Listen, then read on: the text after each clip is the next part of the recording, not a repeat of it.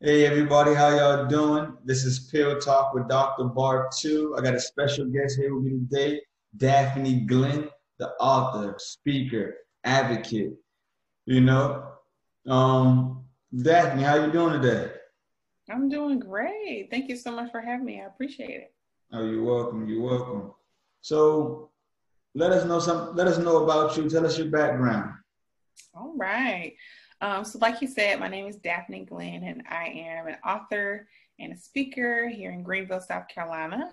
Um, I'm originally born in Greenville, South Carolina, um, and kind of had a difficult upbringing, but by God's grace, made it through on the other side. Um, went to um, undergrad, I went to USC Upstate in Spartanburg, and I ended up getting my master's degree at Columbia College in Columbia. Um, throughout my time, I've always realized that I have had a um, gift for helping others. Um, so I have decided that you know I want to make sure make it my mission to um, help kids and help the youth. So I'm currently working in higher education right now and working with a college access program that helps high school teens get to college. So everything education and literacy. That's dope. That's dope. So with all that, you helping the kids, you in education, and I guess that made it easy for you to go ahead and write your first book, Brown Boy. Can you tell us about that book, Brown Boy? Yeah, so Brown Boy, my first book, I had so many thoughts way back when. Um, having being a person who enjoys kids, being someone who enjoys um, making sure others know about themselves. I was a very curious kid, you know, wanting to make sure that I, um, as a kid, um, you know, just kind of think about myself and others in the grand scheme of things. And as you know, in the past 10 years or so, there have been a lot of things that have been affecting kids, whether they be brown or not. And I was very caught off guard by all the things that were going on in the world. And my nephew at the time when I first wrote the book was very, very young. I think he may have been like two. And I knew that I could have an impact on his life, but also the lives of others. So I took it my I took all of the knowledge, I did a lot of research, did a lot of like thinking about how I would want to um, receive the information and ended up writing some books. Um, the story itself is about a boy his mother has a conversation with him, a very, very important conversation with him um, about his livelihood and about who he is as a brown person in society. So, very, very um, touching book, and um, I hope that it does make a lot of difference in kids' lives today. All right, let's not just run past some of those events that was happening in the world when you wrote this book. So, when you say some events that was going on in the world, what um, what events are you really talking about? Yeah, um, so anyone searches for my book, um, it's available on Amazon. It's available on my website, daphnieglenn.com. When you get access to that book, um, you'll see on the front cover there's a little boy and he has on a hoodie on his head. Who has a hoodie on and he has a backpack with Skittles in his pocket. So um, I was very intentional about making sure that we allowed um, Trayvon Martin to live on and Tamir Rice and just some of the boys and men who didn't get the opportunity to um, you know, live out long and full lives. I made sure that I did what I could to write about their experiences and their stories. So in this book, you'll see page after page, you'll see some connections between um, boys and young men who have been um, wrongfully killed um, in America today.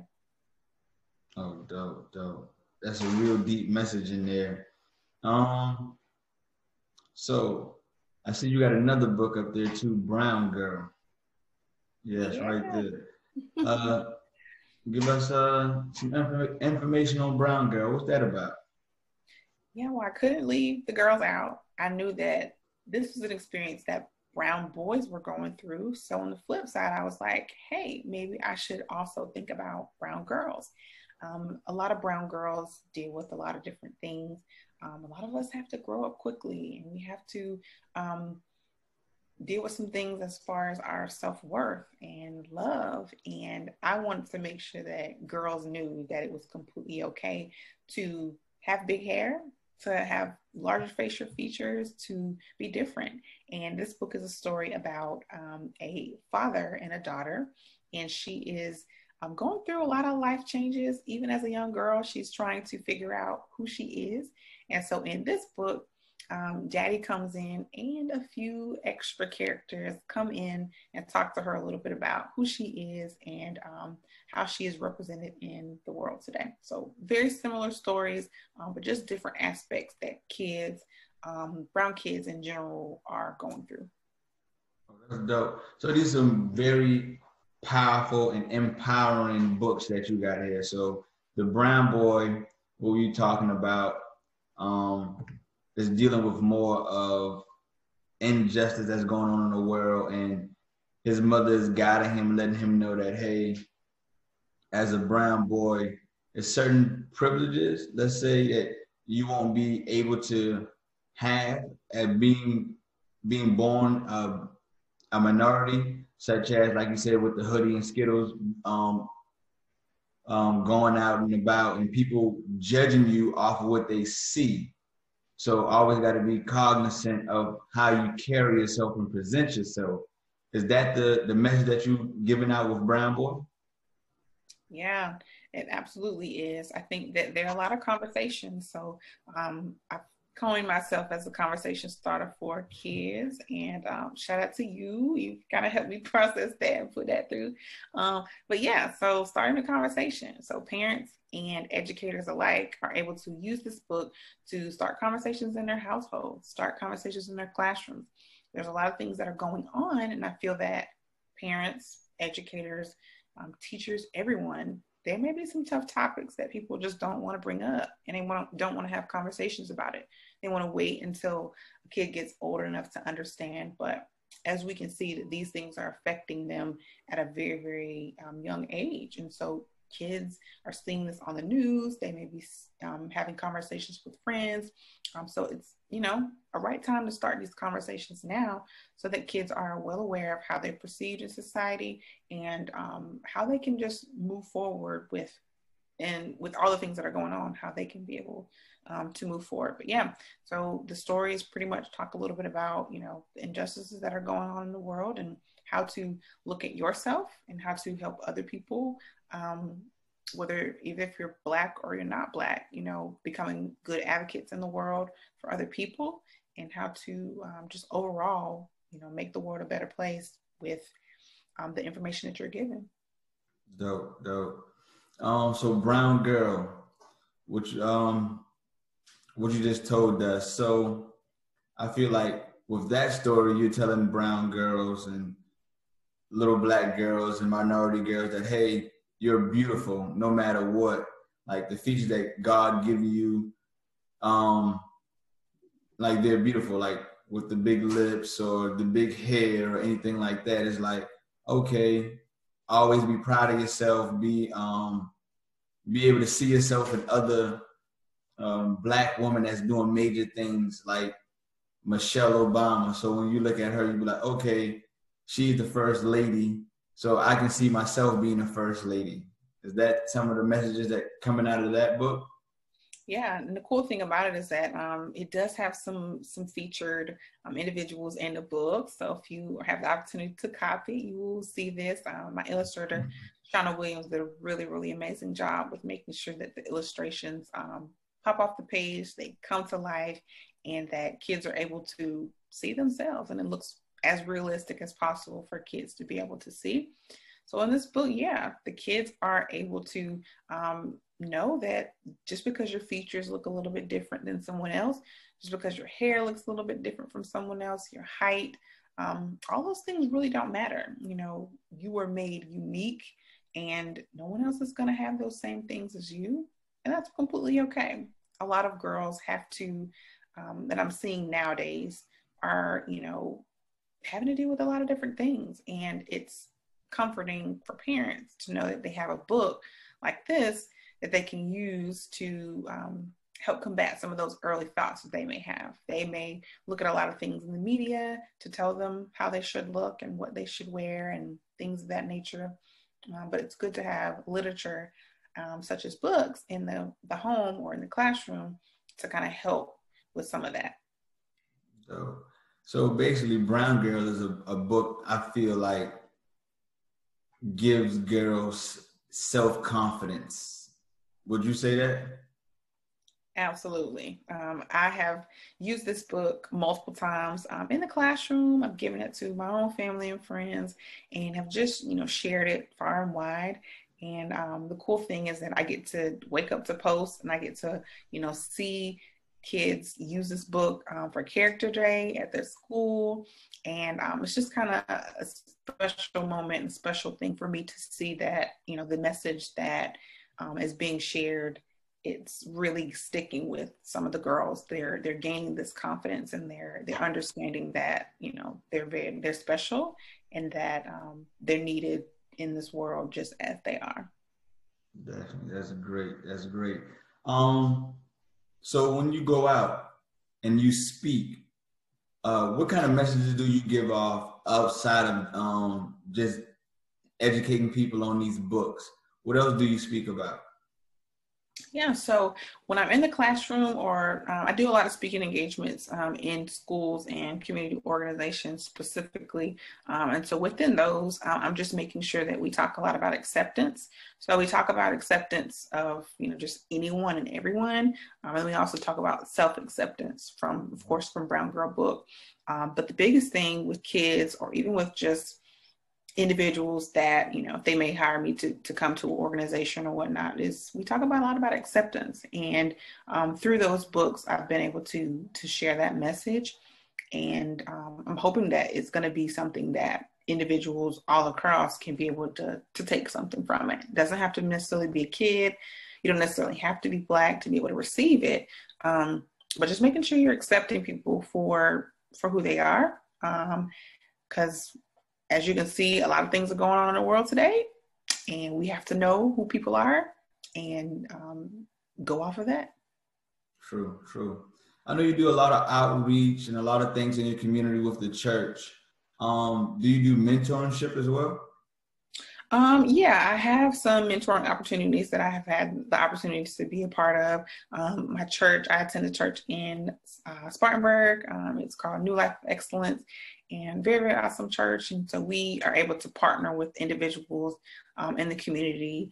Um, I think some things with you know related to education, but me personally, um, I have you know volunteered my time with some organizations in the community, and I think that mentorship is a big thing, especially for um, individuals who have made it and who are still making it. It's, it's uh, very, very important for us to reach back and to help others that um, want to be in the same shoes that we're in where we are today. So I think mentorship is um, very, very important, very key. Mentorship is. Um, I'm one of those that say I didn't have a mentor growing up um, but I will say that I was blessed to meet a whole lot of different leaders on my path to where I'm at, and I was able to to have those good conversations with them and pull some of the, the, the traits that I see that they had that made them great and try to incorporate that in myself. So I can definitely see you guys going out with the church and the community going out talking to the kids how they can look at you guys, feel accepted, and start pulling some of those great traits from you guys. You know. Yeah, and I like that you um, you've talked a lot about leadership. Um, that's ne- definitely another focus for um, in the classroom, whether it be organizations. Um, being able to possess leadership skills, whether it be in the workplace, in the classroom, um, that's something that everyone needs. And when we're able to realize that we are a leader. You know, some of our decision making changes, some of our habits change. Um, so I definitely make sure that if I am talking to students or I am, you know, in an environment where, you know, kids have the ability to see me and they respect me as a leader, um, I want to be able to make sure that I pass those same things off to them because, you know, we're going to go old, we're going to get old one day and these are the people that have to either raise us or be the people that are contributing to society more. So definitely have to pass that baton, but it starts with leadership, mentorship, so they can see that. Definitely. So like empowered leaders empower leaders. So going out there, talking to the youth, educating them, making them feel accepted, making them let them letting them know that this is how the world view you, but this is not who you are. You know, you are better than this, you are bigger than this. You know what I'm saying?